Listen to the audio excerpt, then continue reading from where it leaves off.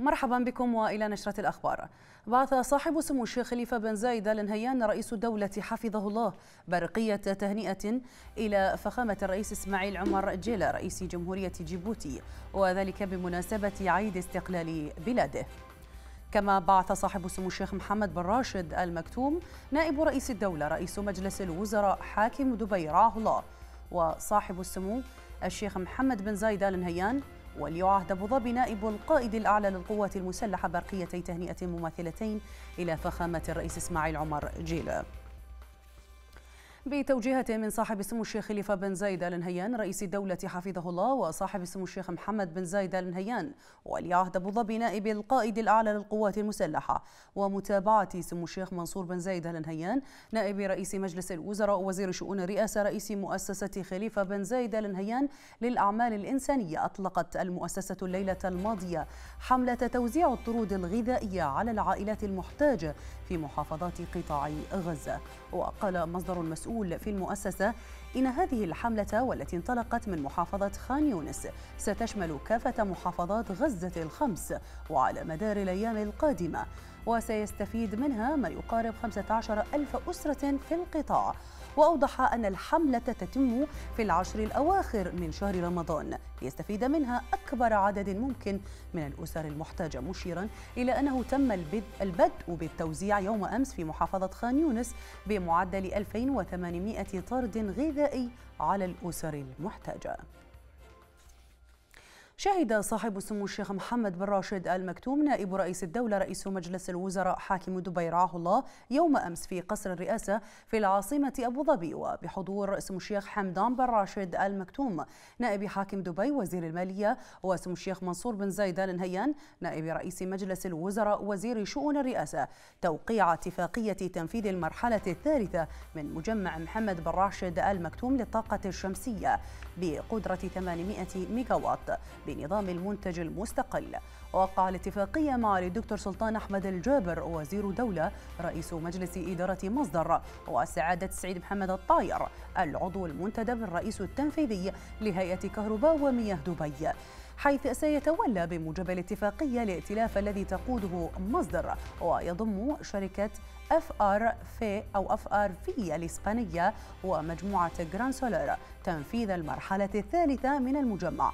ومن المقرر أن يتم بدء تشغيل المرحلة الثالثة من المجمع بحلول عام 2020 تزامنا مع تنظيم معرض إكسبو الدولي 2020 في دبي. التقى صاحب سمو الشيخ محمد بن راشد المكتوم نائب رئيس الدولة رئيس مجلس الوزراء حاكم دبي رعاه الله وأخيه صاحب السمو الشيخ محمد بن زايد آل نهيان ولي عهد أبو ظبي نائب القائد الأعلى للقوات المسلحة في العاصمة أبو ظبي مساء أمس. تبادل سموهما الحديث حول عدد من القضايا الوطنية التي تدخل في إطار اهتمامات سموهما من أجل تعزيز التلاحم الوطني وتوفير كافة مقومات وسبل العيش الكريم لأبناء وبنات الوطن على امتداد مساحة دولتنا الحبيبة. وقد أعرب سموهما عن اعتزازهما بالتكافل الاجتماعي بين مختلف شرائح وفئات وأفراد مجتمعنا العربي المسلم والذي تجلت مظاهره في شهر رمضان المبارك شهر الرحمة والتسامح داعيا الله العلي القدير أن يحفظ دولتنا وقيادتنا الرشيدة من كل سوء ومكروه وأن يعيد هذه المناسبة المباركة على شعبنا بالخير والتقدم والرخاء. حضر اللقاء الفريق سمو الشيخ سيف بن زايد آل نهيان نائب رئيس مجلس الوزراء وزير الداخلية وسمو الشيخ منصور بن زايد آل نهيان نائب رئيس مجلس الوزراء وزير شؤون الرئاسة.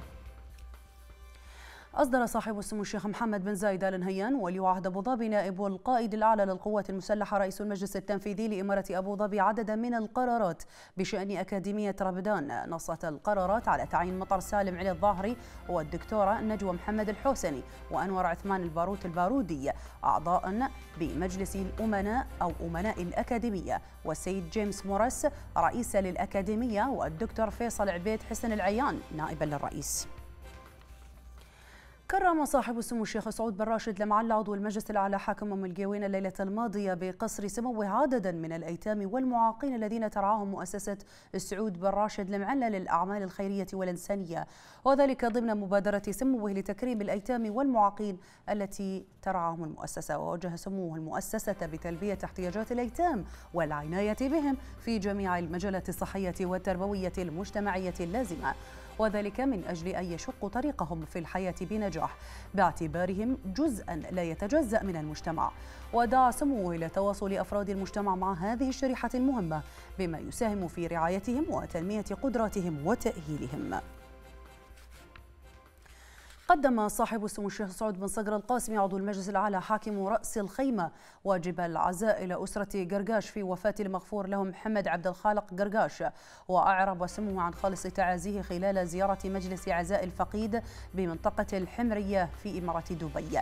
إلى معالي الدكتور أنور بن محمد قرقاش وزير الدولة للشؤون الخارجية وإلى ذوي وعائلة الفقيد. سائلا الله تعالى يتغمده بواسع رحمته ويسكنه فسيح جناته ويلهم أهله وذويه الصبر والسلوان. أصدر سمو الشيخ حمدان بن محمد بن راشد آل مكتوم ولي عهد دبي رئيس المجلس التنفيذي قرار المجلس رقم 31 لسنة 2016 بتعيين أحمد محمد عبد الله أحمد الحمادي مديرا تنفيذيا لقطاع النشر بمؤسسة دبي للإعلام على أن يعمل بهذا القرار من تاريخ صدوره وينشر في الجريدة الرسمية. قدم سمو الشيخ محمد بن حمد بن محمد الشرقي ولي عهد الفجيرة واجب العزاء إلى أسرة قرقاش في وفاة المغفور له محمد عبد الخالق قرقاش. وأعرب سمو ولي عهد الفجيرة خلال زيارته بمجلس العزاء اليوم أو أمس بمنطقة الحمرية في إمارة دبي عن خالص تعازيه إلى معالي الدكتور أنور بن محمد قرقاش وزير الدولة للشؤون الخارجية وإلى ذوي وعائلة الفقيد. سائلا الله تعالى أن يتغمده بواسع رحمته ويسكنه فسيح جناته ويلهم أهله وذويه الصبر والسلوان. بحثت معالي الدكتورة مل عبد الله القبيسي رئيسة المجلس الوطني الاتحادي خلال لقائها في مقر المجلس في العاصمة أبو ظبي سعادة مايا جوهر تيسافية سفيرة سويسرا لدى الدولة. بحثت سبل تعزيز علاقات التعاون البرلمانية بين الجانبين بما يعزز التطور الذي تشهده العلاقات القائمة بين دولة الإمارات والاتحاد السويسري وحرص قيادتي وحكومتي البلدين على الدفع بها قدما واستغلال الفرص المتاحة في المجالات الاقتصادية والاستثمارية والسياسية والسياحية والثقافية وفي مجالات الابتكار والبحث والعلوم والطاقة المتجددة. جرى خلال اللقاء التأكيد على أهمية تطوير التعاون البرلماني بين المجلس الوطني الاتحادي ومجلس النواب السويسري من خلال تبادل الزيارات وتعزيز التنسيق خلال المشاركة في فعاليات الاتحاد البرلماني الدولي والاتفاق على ضرورة إنشاء لجنة صداقة برلمانية بين المجلسين. ووجهت معالي الدكتورة القبيسي دعوة رسمية إلى معالي كريستا مارك فالدر رئيسة البرلمان السويسري لزيارة دولة الإمارات والمجلس الوطني الاتحادي وللمشاركة في قمة رئيسات برلمانات العالم. قدم سمو الشيخ هزع بن زايد ال نهيان نائب رئيس المجلس التنفيذي لإمارة أبو ظبي واجب العزاء في وفاة محمد عبد الخالق قرقاش. جاء ذلك خلال زيارة سموه مساء أمس لمجلس عزاء الفقيد بمنطقة الحمرية في إمارة دبي. وأعرب سموه لمعالي الدكتور أنور بن محمد قرقاش وزير الدولة للشؤون الخارجية ولعائلة الفقيد وأبنائه وعموم أسرة قرقاش عن أحر التعازي وصادق المساواة المواساة. داعين المولى عز وجل أن يتغمد الفقيد بواسع رحمته ويسر يسكنه فسيح جناته ويلهم أهله وذويه الصبر والسلوان. كرم الفريق اسم الشيخ سيف بن زايد آل نهيان نائب رئيس مجلس الوزراء وزير الداخلية في حفل أقيم في العاصمة أبو ظبي مساء امس الأحد. عددا من الوزارات والمؤسسات الوطنية والاعلاميه والمشاركين والمستضيفين والإعلاميين في مجالس وزارة الداخلية الرمضانية والتي أقيمت هذا العام برعاية من مكتب شؤون أسر الشهداء. ثمن سموه حرص الجميع على إنجاح المجالس والمشاركة فيها ما أسهم بتعزيز التعاون والتواصل وتبادل لمواجهة التحديات وتقديم المقترحات التي تعزز من جودة الخدمات وتكريس استقرار المجتمع وأمنه ليكون الجميع شركاء وفاعلين في مسيرة التنمية والبناء التي تشهدها البلاد بفضل قيادتها الاستثنائية الحكيمة. حضر الحفل معالي الشيخة لبنى القاسمي وزيرة الدولة للتسامح ومعالي سلطان بن أحمد الجابر وزير دولة ومعالي شمس هيل المزروعي وزيرة الدولة لشؤون الشباب والشيخ خليفة بن طحنون بن محمد آل نهيان مدير مكتب شؤون أسر الشهداء والفريق سيف عبد الله الشعفار وكيل وزارة الداخلية وعدد من كبار المسؤولين ومستضيفو المجالس وممثلو الجهات الحكومية المشاركة في المجالس الرمضانية وعدد من ضباط وزارة الداخلية والمدعوين والضيوف. وشاهد سموه والحضور فيلما تسجيليا استعرض لقطات من أبرز ما دار في المجالس الرمضانية والتي عقدت هذا العام على نطاق واسع على مستوى الدولة وما تناولته من موضوعات ونقاشات وما توقفت عندها من محطات. ثم تفضل سموه بتقديم شهادات الشكر والتقدير للمستضيفين والإعلاميين المشاركين.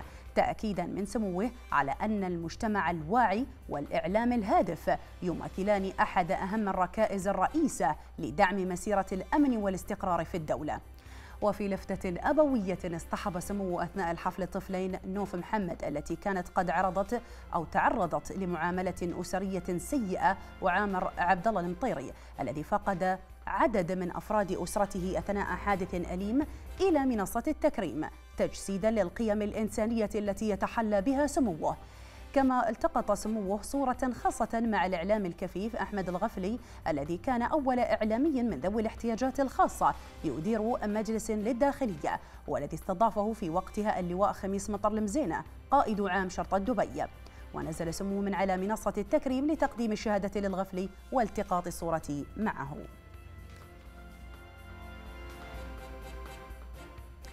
أكدت معالي نورة بنت محمد الكعبي وزيرة دولة لشؤون المجلس الوطني الاتحادي أن النقاشات والحوارات التي شهدها دور, دور الانعقاد الأول من الفصل التشريعي السادس عشر للمجلس الوطني الاتحادي تبرز العلاقة المتميزة بين المجلس والحكومة والتي أصبحت تشهد نموا وتطورا كبيرين.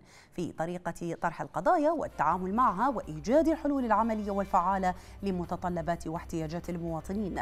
وبما يتناسب مع رؤية القيادة الرشيدة لدولة الإمارات وبينت معاليها في تصريحات بمناسبة اختتام أعمال دور الانعقاد الأول من الفصل التشريعي السادس عشر أن برنامج التمكين السياسي الذي أطلقه صاحب السمو الشيخ خليفة بن زايد آل نهيان رئيس الدولة حفظه الله بمناسبة اليوم الوطني الرابع والثلاثين لتأسيس دولة الاتحاد يشكل منهج عمل لتطوير أو للتطوير المستمر والدائم للتجربة البرلمانية والارتقاء بها بما يصب في خدمة الوطن والمواطن والارتقاء بالمجتمع الإماراتي إلى أفضل المستويات. أدت مبادرة زايد العطاء ثلاثة ملايين ساعة تطوع محليا وعالميا في مساهمة منها لتخفيف من معاناة ملايين الأطفال والمسنين من مختلف دول العالم بحسب التقرير السنوي الذي أصدرته المبادرة أمس تزامنا مع احتفالات الدولة بيوم زايد الإنساني.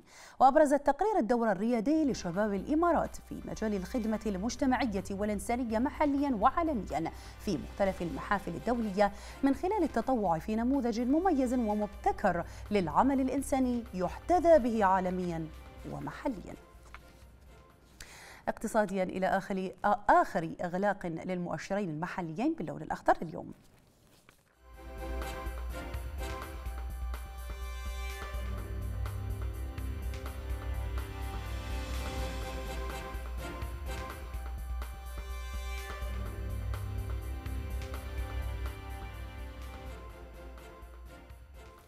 أما الآن نتابع وإياكم درجات الحرارة العظمى والصغرى لليوم.